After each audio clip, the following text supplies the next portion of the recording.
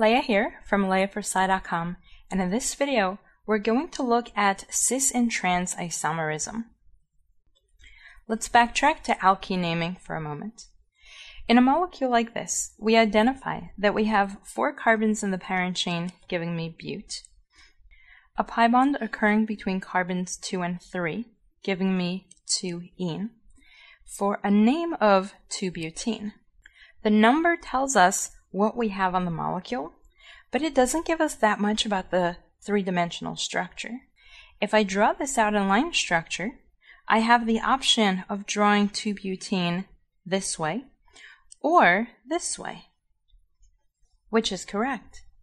The answer is that both are 2-butene, but the first one is the trans isomer and the second is the cis isomer.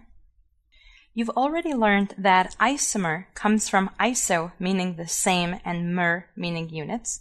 This is when two molecules have the same molecular formula, but they're connected differently. Specifically, we're looking at the geometric stereoisomers, where geometric tells us that there's something different in the geometry between the two molecules we're comparing.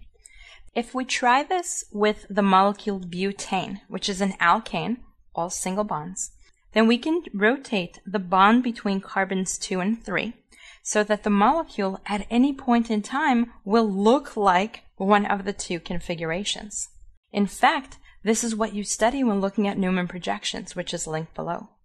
But to get a geometric isomer, they can't be able to move. You should not be able to turn one into the other. And that means they have to be locked in place. How do you lock the molecule in place? We have two options, a pi bond or a ring. If I look at this molecule with a single bond between carbons 2 and 3, I have free rotation. If I add a pi bond between the two carbons, pi bonds, remember, are above and below the atom. They can't move. The molecule's locked in place. And the only way to rotate, to bring this methyl group down, would be to break the pi bond, move the methyl down, and then reform the pi bond. Let's take a look at the model kit. Here we have an alkane with sp3 carbon atoms. Notice that the red and blue substituents are next to each other, but because it's sp3, I can rotate, and now they're opposite of each other. And then I rotate, they're next to each other again. The substituents are not locked in place because the carbons are sp3. If I look at a similar molecule, but this time I have two sp2 carbons pi bound holding the substituents, the red and blue substituent are now locked in place opposite each other, and if I try to rotate, I'll break the model kit. It doesn't want to rotate. The only thing I can do to get them next to each other is to break the bond and manually move the substituent to the other side. And again, now they're locked in place, can't rotate the molecule.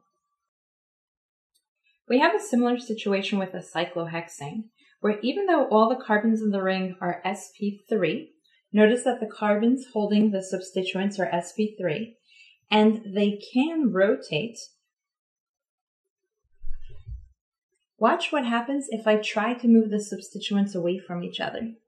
The ring doesn't allow it. The ring is locked in place, and this entire thing is going to break if I keep going, which means even though the substituents are on sp3 carbons in a ring, they're still locked in place, and the only way to move them from having two substituents on the same side is to break a bond and reform it. To identify cis or trans, first identify the pi bond, and then look for the substituents that are coming directly out of that pi bond. We don't care about anything else on the molecule except for the very group coming out of the pi bond on one side. Compare that to the other side. Once again, identify your pi bond, look at the group coming out on one side and then the other side. How do they relate to each other? If they're on the same side, we have the cis configuration, which I like to think of as sisters. Sisters are together. They're on the same side. If they're on opposite sides of the pi bond, then we have trans. I think of it as transfer away from one side to the other. A note on cis, I drew both of the substituents down. I could just as easily have drawn the molecule this way with the two substituents pointing up and it's exactly the same thing because I can either rotate or flip the molecule and it'll look like this one.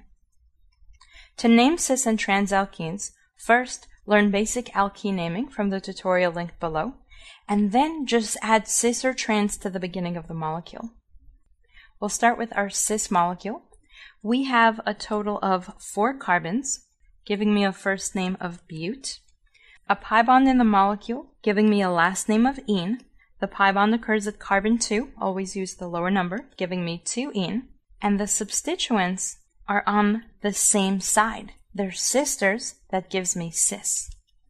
To put the name together, bring cis in front of the name, then drag the 2 in front of bute, giving me cis 2 butene.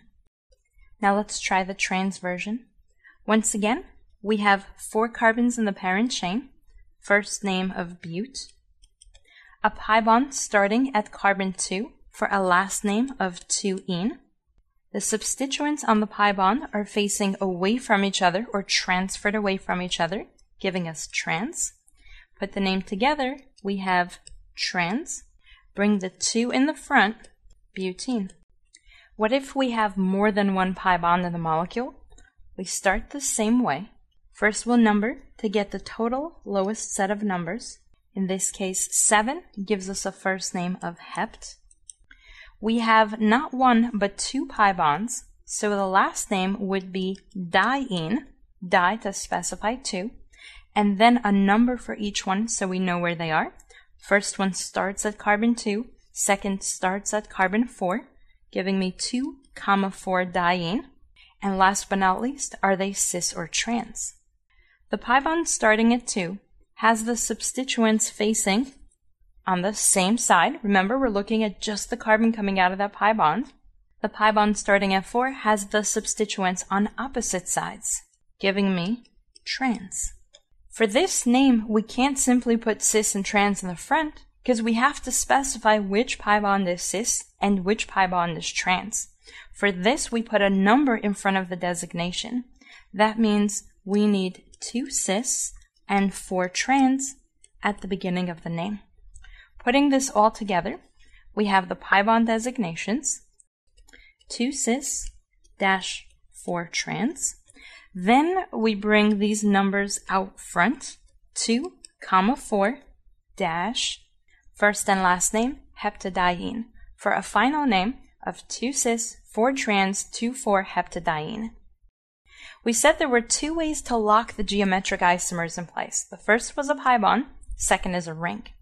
With the ring, we can have different types of substituents because we're just looking at the relationship. In this case, the substituents on the cyclohexane would be up or down, where you should remember that a wedge tells you the substituent is up and dashes tell you the substituent is down. A good way to remember it is dashes and downs start with a D. If I add two methyl groups to this cyclohexane, you'll notice one is a wedge and one is on a dash. They are on opposite sides, they are transferred away from each other. This molecule has the methyl groups trans to each other. That's because one is up and one is down. It doesn't have to be just methyls. What if I have two halogens? Say a chlorine and a bromine. In this case, I can say that the two halogens are cis to each other. That's because the chlorine is up and the bromine is up. They're on the same side. They're like sisters together going up, making them cis. This is covered in more detail when you study cyclohexanes and chair conformations, which is linked below.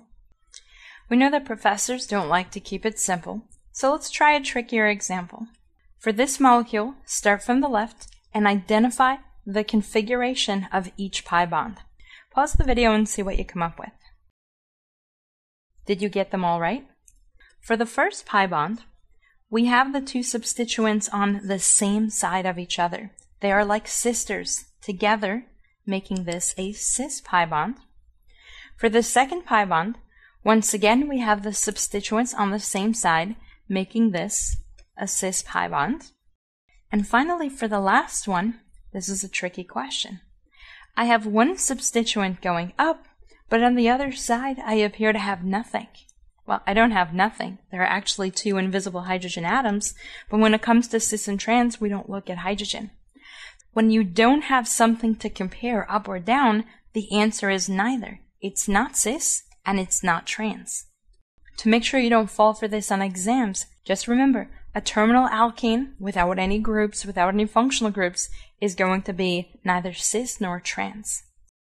What about a scenario where you have different types of substituents like halogens, functional groups, or more than one group? For example, on this molecule, if I identify the pi bond, on the left, my substituent is going up. On the right, what do I use? Do I use the methyl or the ethyl? Because if you think about it, the methyl is cis to the left side, but the ethyl is trans to the left side. So is it cis or trans? Once again, the answer is neither. This is where you have to go to the E and Z configuration, which I'll cover in the next video. You can find this video along with more examples by visiting my website, leahforsci.com slash cistrans.